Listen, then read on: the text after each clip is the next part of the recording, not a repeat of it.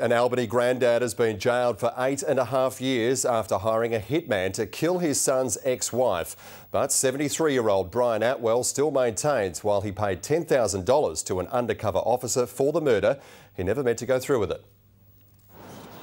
Even in his last moments of freedom, Brian Attwell was defiant. I done nothing wrong at all. Who's the one that done it all wrong. The 73 year old businessman wanted his former daughter in law, Michelle Patrina Attwell, dead. He told an undercover police officer, I want her wiped off the face of the earth, strangled or something, no blood, and handed over $10,000. I know what I am and what I've done in the community, and the community respects me very highly for it. Today, he was sentenced to eight and a half years behind bars for trying to organise the murder. Justice Ralph Simmonds says he couldn't give Attwell any credit because he's shown no responsibility for what he did.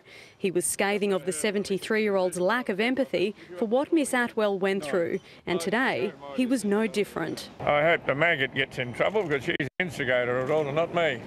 I'm doing the pain, but not her. She's living a lavish lifestyle and laughing behind everybody's back. She should apologise to me. She's the instigator of it all, not me.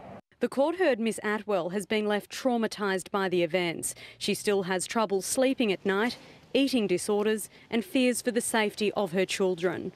Attwell will be locked away for a minimum of six years. By the time he's eligible for parole, he'll be close to 80 years old. It's understood he's in poor health and there were concerns with how he'd cope in jail. Justice Simmonds said it's likely his condition could get worse behind bars, but jail time was the only option that fit the crime.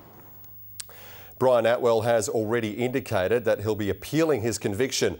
El Ross, he still maintains he shouldn't have been jailed at all.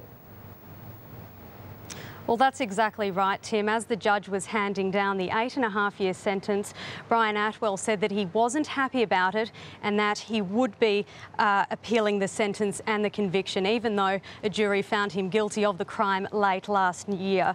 Now, we spoke to employees of Brian Attwell today and they said that they'll be continuing to support him. Now, friends say that he was a man pushed to his limits and that he never intended to kill.